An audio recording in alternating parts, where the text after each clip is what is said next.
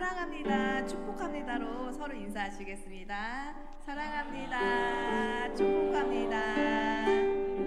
저희 첫 곡 내주의 은혜 강가로 하나 함께 찬양하시겠습니다.